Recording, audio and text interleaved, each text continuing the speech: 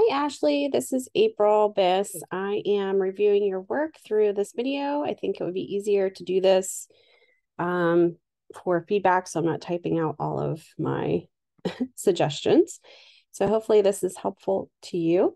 Uh, good job with um, your newsletter so far. It looks great. Uh, just a few things to, to point out, though, I just to push this further.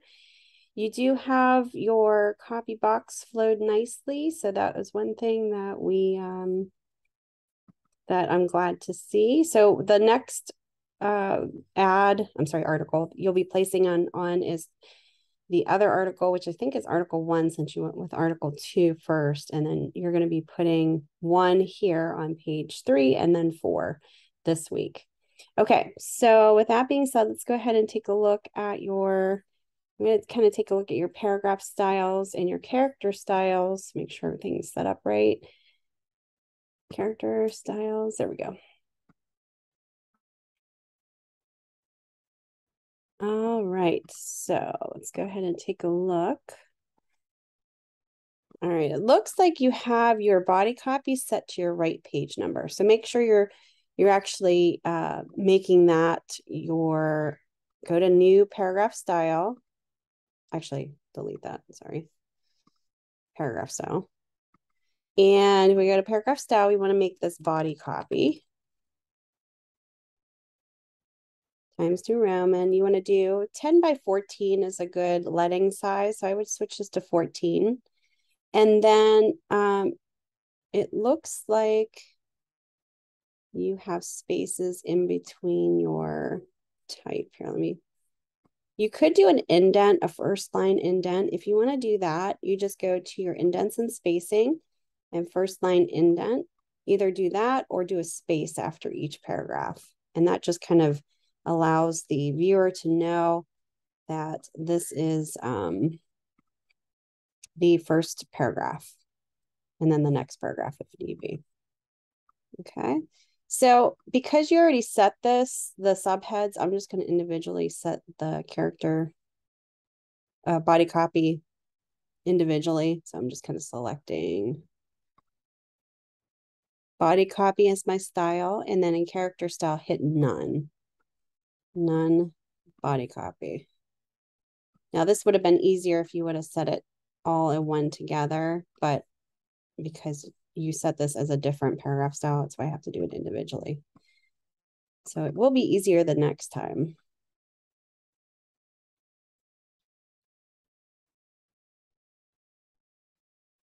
Okay. we can't select this? Oh, oh, okay. For some reason I wasn't able to select that, so I'm gonna have to put that back in there. Okay, so none in character styles, body copy, set good, none, body copy is good. Okay, everything's good. Okay, subheads, let's see if you did that right. Okay, so subheads should be a new character style, but you have it as a right page number. So we're gonna do a new character style. We're gonna name this subhead. And we're just gonna leave everything in here the same. Just click okay um, then just go in and make sure you highlight every single subhead and give it that subhead character style. That way, if you ever need to change, say, the color or the size, the font, anything, you can do it very easily. And I'll show you real quick what I mean by that. So let's say you want to go in and, oh, you know what? I want to make this a different color, the subhead. So Let me set that to subhead basic. Everything's set. Okay. So if I were to do that, watch what happens when I uh, go back into my subhead. I'm going to double click and watch your subheads change when I click the character color. I'm going to change it to like a bright blue. See that? Or red. It changes it very quickly all together. Okay. Before it wouldn't have been able to do that because you didn't have your, your character style set separately. Same with the body copy. If you ever need to go in there and say, you know, change certain specific, uh, say like the leading, what we changed from 15 to 14, that would just, you know, do it very quickly. Okay. All right, everything else, I would just make sure that this is hitting on that margin. Everything else looks good. Um, your copy box, if you're putting these, which I think is good, these little boxes behind here, what I would do is make the boxes a little bigger.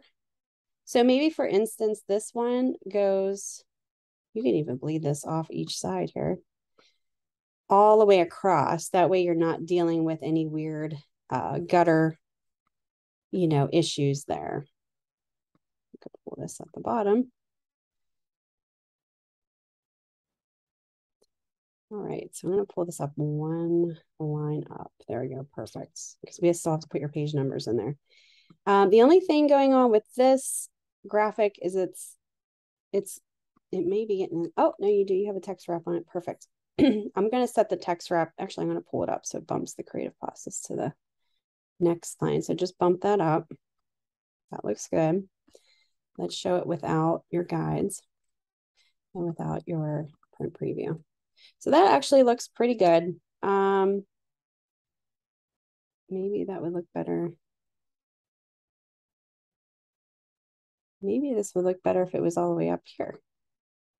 And then you just have like a white border on the top and bottom. I don't know. Think about things that you can do.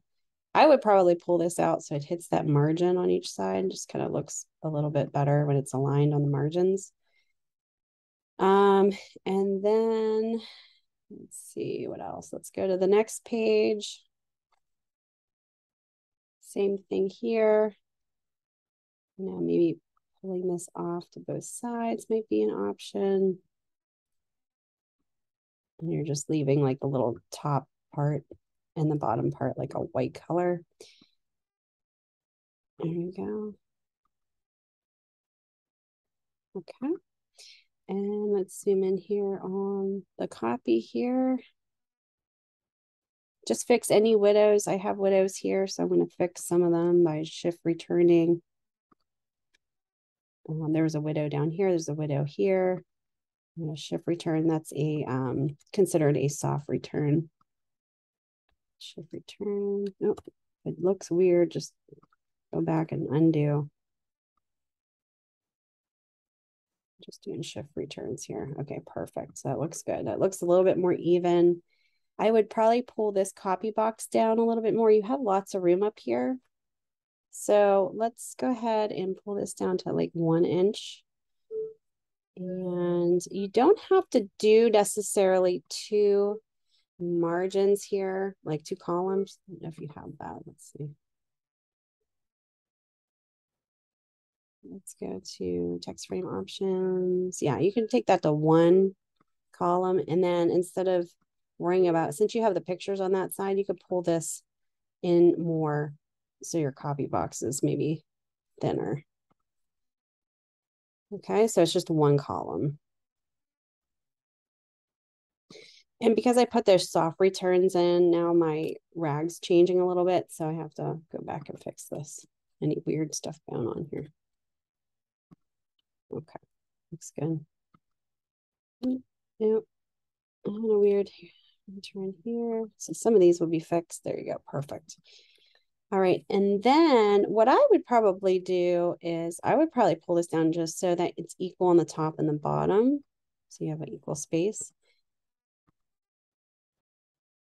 And pull this up so it's equal space too on the top and bottom. That looks good. Okay, that looks good. So um, the only thing I see missing here is your uh, your page number on the right hand corner, right, right corner. It looks like you have one set here. So copy and paste that over on the right corner.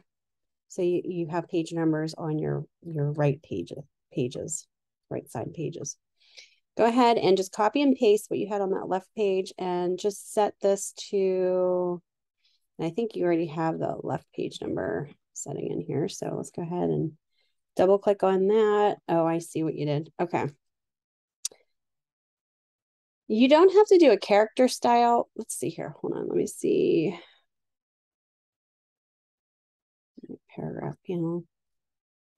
You can easily set this to right aligned using the paragraph panel, and then it'll set your style. You want to set it to the right page number.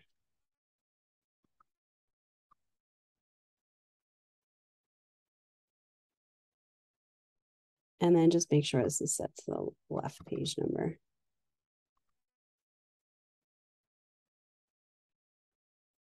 Okay, so if you ever need to change, like say the typeface of this mm.